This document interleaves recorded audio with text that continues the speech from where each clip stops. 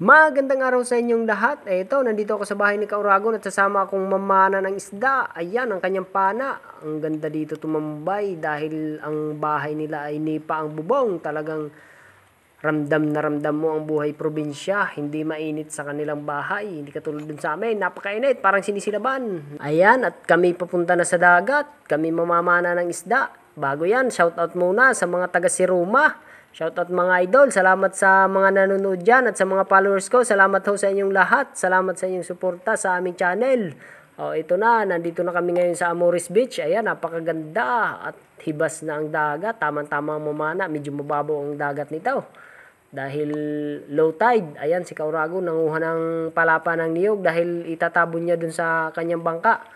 Yun, yung di makinang bangka napakainit ho kasi. O ito ang aming gagamitin, yung walang makina dahil magsasagwan lang kami para hindi na kami gagamit ng gasolina. Alam nyo naman ngayon, abay napakamahal ng gasolina, kaya ayan, sagwan lang. Sana naman ay pala rin kami makahuli ng isda. O ayan ang gagamitin namin pana, tingnan nyo, o napakahaba. Ayan ho ay pang araw na pana. Kapag kagabi ho, ang gamit, yung maiksi lang na pana dahil hindi naman natakas ang mga isda, mga tulog. O, o ayan ho ang beach dito sa Seroma, tingnan nyo naman ho, napakaganda. O, Puting-puti ang buhangin at napakalinis pa ang tubig. O, ayan, kulay asol.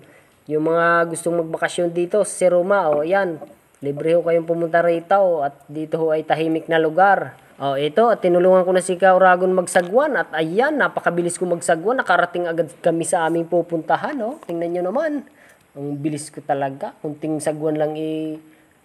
Agad-agad kami nakarating. O, ayan, nakakuha na agad ng alimasag si Kauragon, kaso nga lang ipatay na. Naka, o, hindi magandang buwi naman, o, patay agad ang aming nakuha, o, ito na ako, at ako ibababa na rin. Ayan, may suot ako diyang snorkel, dahil hindi ako tatagal diyan, katulad, hindi katulad ni Kauragon, kahit walang snorkel, eh, talagang yan ang kinasanayan niya. O, ayun, sumisid na siya, kaso eh, walang nakitang isda, ayun. Ito, sisid ulit, silip na naman sa ilalim ng bato, wala pa rin pangalawang sised. O ayan, ang mga nakita kong isda, kaliliit. O, tingnan nyo naman. Mahirap na talagang makahuli dito sa malapit. Pero tsatsagain namin dahil hindi naman na kami pwedeng bumalik na lang nang walang huli. O, ayan, tsaga-tsaga lang dito. Sinilip ulit ni Kaurago ng bato. Abay, magkakaroon na ng kuliti sa mata kasisilip. Eh, wala pang nakakitang isda. O, ayan, tingnan nyo naman. Halos isuot na ang kanyang ulo sa ilalim ng bato. O, ayan, wala pa rin nakita siguro ito at lumutang na wala naman tinira. Ayan. Lutang na ulit si Kauragon dito. Ito ho ang hirap sa paninisid kapag ka walang isda ay nakakapagod ho pabalik-balik. O, ayan, sisid ulit. Pero kapag ho nakahuli, kapag ka malalaki, aba, tanggal ho ang pagod. O, ayan. Ito hong pinagsisira namin ay mababaw lang naman ho ito. Siguro yung mga tatlong dipa. O, ayan. Dahil nandito lang ho kami sa malapit. Hindi kami pumunta dun sa malayo dahil malabo nga ho. Oh, ito. Nakahuli na dito si Kaurago ng isa. Medyo maliit ho pero pinanaan niya na dahil wala naman hong malaki talagang isda rito. Para ho lang yan sa pangulam. Oo. Ay pasensya na ho yung mga magagaling din magpana ha. Ay huwag nyo kaming ibas dahil maliliit ang aming nahuli.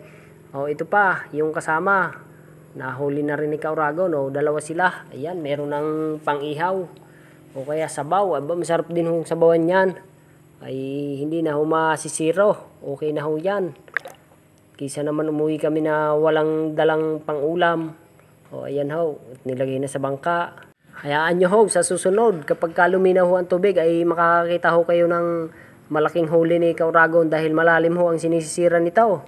Oo. Kaya ngayon ay eh, tiyagala ang kami dito sa mababaw kasi malabo nga ho. tingnan nyo nga ho si Kaurago no, halos hindi makita sa video. Ayan. Oh, sa labo ng tubig. Lagi ho kasing maalon kaya hindi lumilinaw ang ilalim ng tubig. Ang hirap makakita ng isda pagka ganyan. Oh, ayan, sisid ulit sa ilalim si Kauragon dito. Tsaga-tsaga lang para naman eh, makakuha ng maraming pang ulam. Ayun. At parang may nakita siya ritong isda. Ayan, lapu-lapo. Hindi pa rin ito kagaanong kalakihan. Pero pinanana yan ni Kauragon dahil pandagdag na rin yan sa pangulam.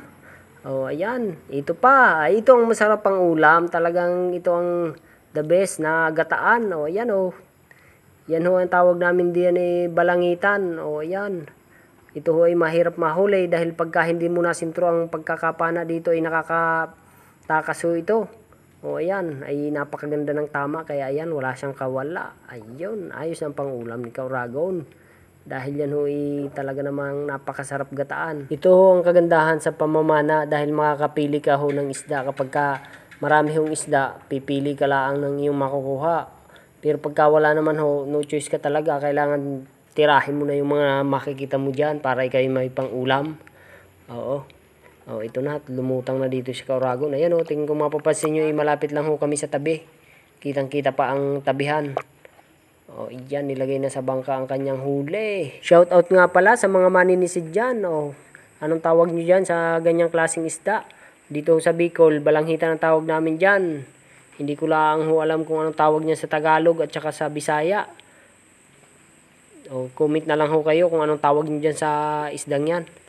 O, ito na. At wala na kami nakita ritong isda, kaya't kami umuwi na. Dahil napapagod lang kaming kasisisid. Wala namang isda. Napakalabo pa ng tubig.